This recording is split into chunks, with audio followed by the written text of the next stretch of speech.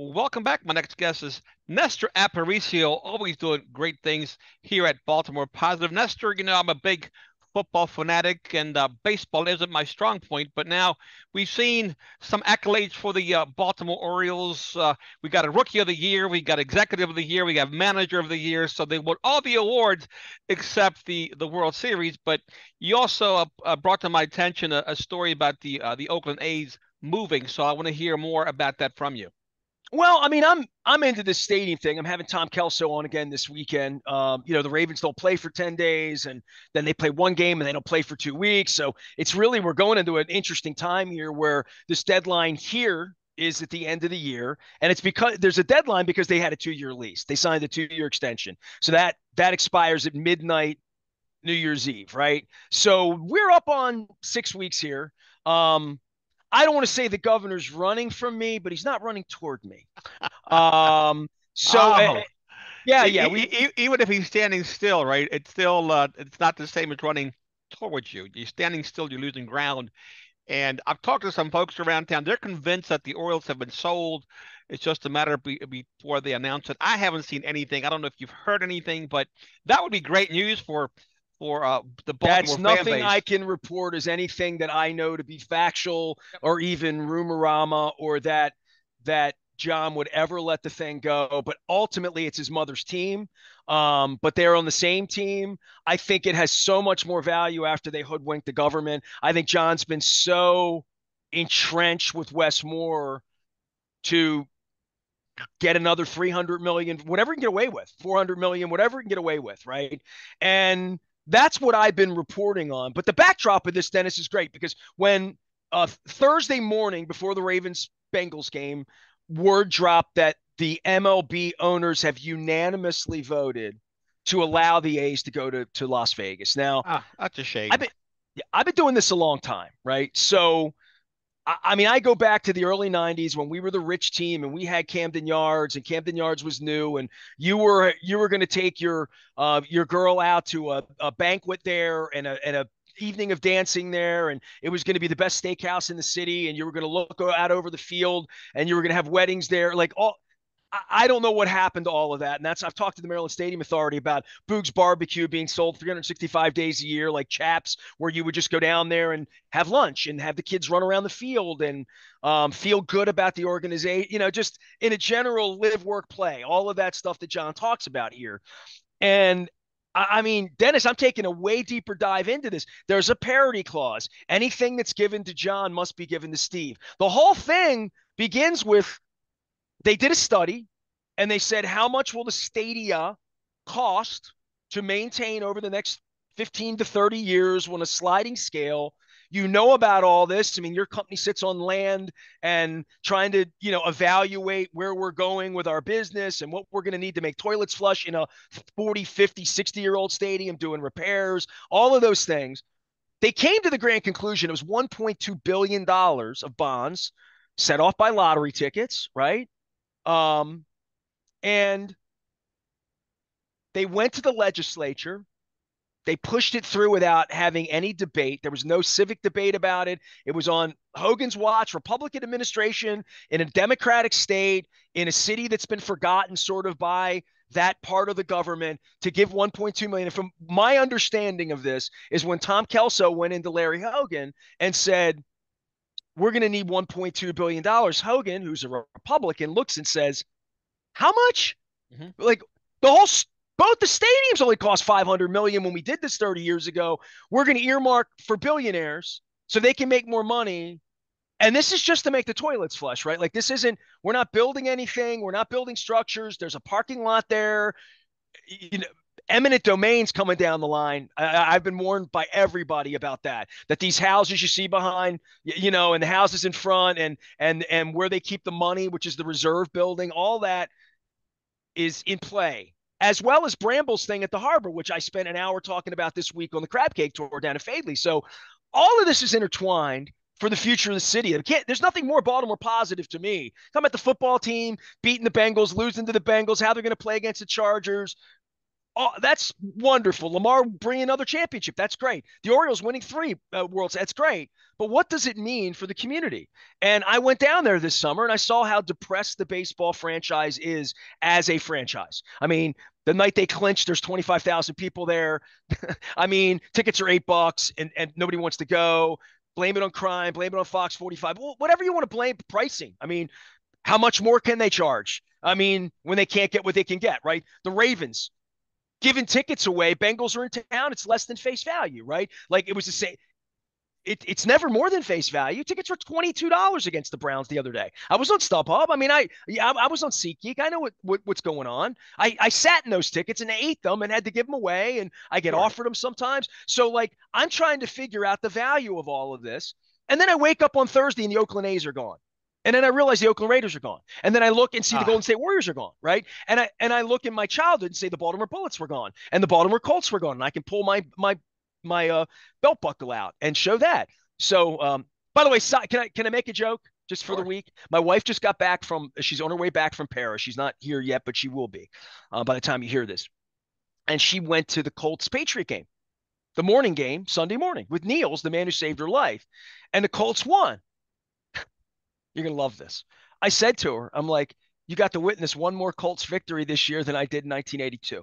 Oh, oh, was that right? I mean, that's come on. Truth. Thought, that, that's that is the truth. truth. That that's is the truth. truth. Who cares about the Colts? But I do care about the people of Oakland. I've never been to Oakland, but haven't lost football. Now you're losing baseball. And I go back to Reggie Jackson and basketball. But they, they can take the they can take the, the train over and oh, watch their basketball that's, team play for three times the price, of course. You know that's insane though. But I remember Reggie Jackson with the Oakland A's. I mean, to me, it's an iconic franchise. I get they need they want to put a team in Vegas, but why the A's, uh, Nestor?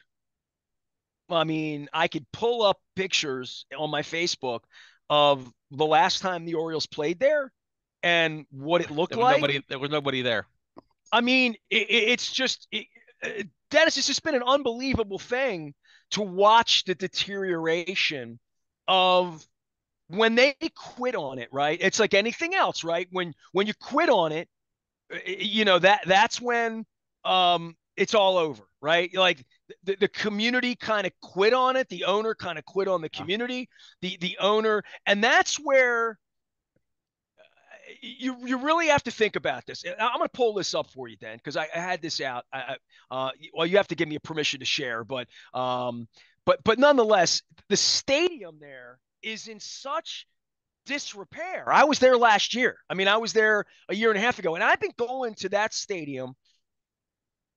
The first time I walked in that stadium was I'm just I'm really trying to think the first time because it might have been the day of the AFC Championship game. Okay. I think it was.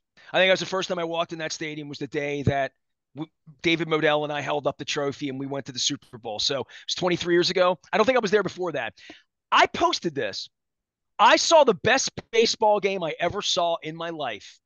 In my life. And I saw, I mean, I was at A's Orioles playoff games in 1974 where Catfish threw, you know, it was one nothing game. Palmer, you can go look these games up, Vida Blue, all of that stuff.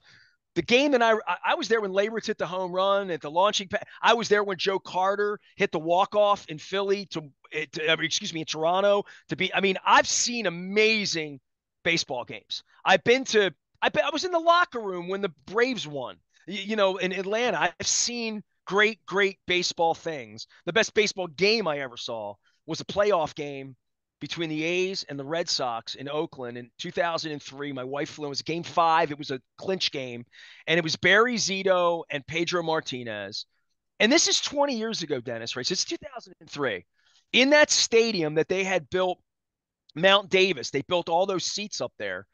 By the way, Ray Bachman and I went to the AFC Championship game there when the Raiders won when they beat the Titans. They beat Jim Schwartz with Rod Wood the next mm. year in the the Rich Gannon year then when they got their their ass kicked by Tampa, right? We were at that championship game. Ray and I were in Mount Davis, sitting up top in the Titan seats because Jimmy Schwartz left us the tickets.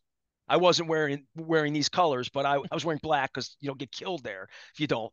But um, so I've been in that stadium a million times, and that day my wife and I saw that incredible baseball game there in 2003.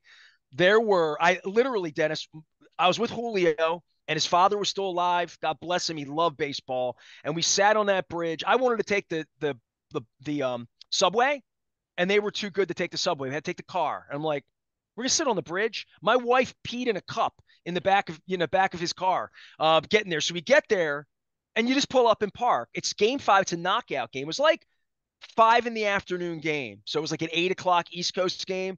I mean, everybody in Boston, it's getting 90 share in Boston, right? The, the Red Sox hadn't won the World Series yet. It was 03. It was the height of Schilling, Martinez. Um, my God. I mean, it was, you know, they were the Red Sox, right? Pull up. The stadium had, I could look the attendance up of the game, but they're lying if they said there were 20,000 people there. Like they're they're they're lying. And my wife and I bought tickets. She wore a Red Sox hat. She's a Red Sox fan. And there were 4,000 Red Sox fans there that lived in the Bay Area, right? That would just like the Red Sox are playing a knockout game. My wife and I walked up to the box office. I wasn't worried about tickets. I knew we'd get a ticket. I walked up. I said, you know, what do you have? Oh, we have seats. Uh, these are eight rows behind third base. Uh, how much are they? They were like, I swear, 18 bucks or something. They, they was, they were like giving the tickets away and they couldn't get anybody to sit in them. And my wife and I went and sat in them, and we saw the best baseball game I've ever seen. It was the game where Johnny Damon got knocked out in the outfield, and and it was the crotch chop game with Miguel Tejada. It was the last game Tejada played with the A's, and then he became an Oriole right after that. It was really, really great, great, great baseball game. It was like a three to one final or something, but it was just an awesome game. A lot of strategy. We had great seats. So I remember sitting in that stadium, seeing these great baseball games, great football games, championship games. All it's all over with. It's all over with now. They're going to move the team, and this greases John. This empowers John more to say, you know, that that there is a chip that if we're not getting what we want in Baltimore, we'll threaten to leave. We'll like all of, of that. All that at MOU was a joke. And the governor knows that, and his people know that. And they're doing everything they can do to pacify him the same way that for 30 years people have done things to pacify his father. They got him $600 million, Dennis. You know what I mean? Like they got exactly what they they got $600 million and it's not good enough to get the lease done. Bisciotti's already signed, but if this isn't good enough, and then he's now he's in on the new Maryland Stadium Authority and on Wes Moore, whom he wrote chapters for Wes Moore's book years ago. So there's all of this relationship that I didn't realize existed. And if they agree to do this, if Wes agrees to this, and and and and um, Brooke Lierman and the people and, and and Annapolis in general, all of our elected officials go down there and agree to sort of double the money for what they just gave them a year and a half ago because it's not good enough. Now Steve's going to get all this money. And there's everything, and I've said this to Bill, there's everything but a plan. like, show me what you're doing with the money. And worse than that, the, the worst part of this, Dennis, is that John is looking to get rid of the oversight. He's looking to get rid of the Maryland Stadium Authority and have all of this money gifted to the Orioles to create their own shell construction companies mm-hmm. and potentially screw it up. I, I don't know. I mean, I, I don't know. So you're well, hearing the exact opposite. If you think John's getting out, I, I, I I've heard nothing to the story. I've heard that John's digging in well, and that the governor's digging in and that the commissioner has bigger fish to fry. The commissioner spent Thursday morning voting to move the Oakland A's to Las Vegas and they're trying to get the stadium done down in Tampa. Man, Baltimore's on the back burner. They just won 100 games. Hey, what could go wrong here except that are they selling tickets? Are they selling skyboxes? Are they are they like what are they doing? And they're they don't even have a lease. I keep saying they don't have a lease on January 1st.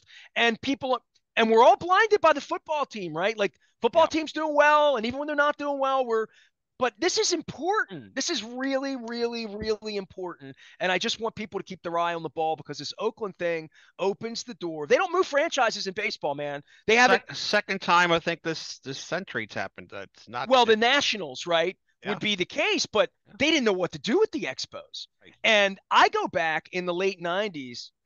Talk about great guests I've had on the show that you don't know I've had on the show. I had the governing body on my show regularly. Jesse Ventura did my show several times in 1999, 2000, I, I can see that. I can see that. He was the governor of Minnesota, and they were trying to contract the Twins. Yeah. Go Google it. They, they said we're going to get rid of these two franchises, and the, the governor of Minnesota lost his mind. Of who's a wrestler, by the way, but he lost his mind, and he came on with me very soberly, like you know he can be. It wasn't the wrestling shtick, it was the governor's shtick. And he came on with me many times and said, We're not letting the we're not letting major league it's pretty good. We're not letting Major League Baseball take our franchise from Minnesota. Now we've got a long history with the, the Homer Hanky. We're going back to Tony Oliva. We're going back to, to Bert Blyleven. We're going back to the Rod Carew, the roots of baseball here in Minnesota. So is that pretty good? Was Very that good? good? Just like All the right, good. But you So- know, there's got to be massive pressure on the governor, though, not to allow franchise to move uh, on his watch. Whether you're Wes Moore, The Orioles or aren't leaving. That that's the thing that's fake here, right? There's no Yeah. leverage. They're not going to leave Baltimore. No one is in on John Angelos, and no one in Major League Baseball is going to have his back to move the franchise when there's 600 million dollars sitting on the table, um, and Camden Yard, and a stadium that's built and ready to go, and a government that's ready to run it. And he's trying to overthrow the government's oversight of all of it and abscond the parking lot. And it, once he absconds the parking lot and the warehouse and he owns it all and it's his to do whatever he wants, what are they going to give Bisciotti that's equal value? Right. The the other side I mean, he's the asking for things I don't know that the government can even give him. You know what I mean? Like maybe, literally. well, maybe he wants to open up a bunch of steakhouses, restaurants, etc. Who knows? Who knows? But this was the big lie from the beginning because he inherited all of that. His father inherited a franchise with no Washington, no television network, 3.6 million fans, Cal Ripken, Brooks, Boog, my cousin, Frank. Just go go through the list of what they had. They had Alomar, they had Key, they had Wells, they had Erickson, they had like they had Palmeiro, even though nobody wanted him. Who the hell would want him? But um, I, I, I would say that this franchise, in the future for the franchise and where they are and they're winning games, they're not even marketing.